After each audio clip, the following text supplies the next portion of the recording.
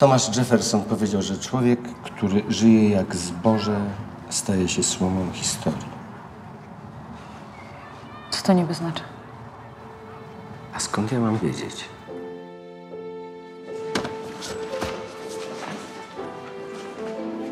Pan profesor pracuje z nami od wielu lat, ma bardzo dobry kontakt z młodzieżą. Johann Wolfgang Goethe. Może cię to zdziwi, ale nie był to piłkarz Bayernu.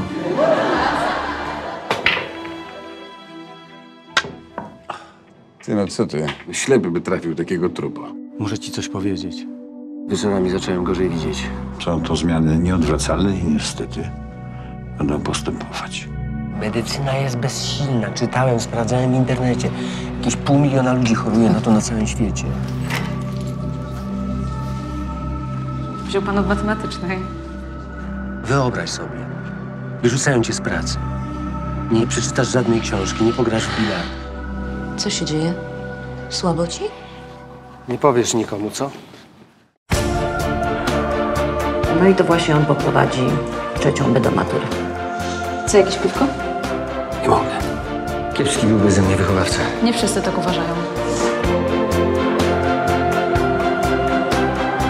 Wziąłem to wychowawstwo. Pojebało cię? Przecież to jest kryminał. Nic nie widzisz, rozumiesz, kurwa, i za chwilę stanie się jakieś nieszczęście. Przecież wcale tego nie chcesz. No i co ja mam z panem zrobić? Sprytnie się pan ukrywał. Powiedziałeś jej? Przydałem ci słowa. Oni nie mogą się pana nachwalić. Ty pękasz?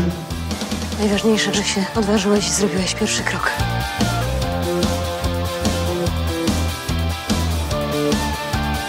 Jestem gotów.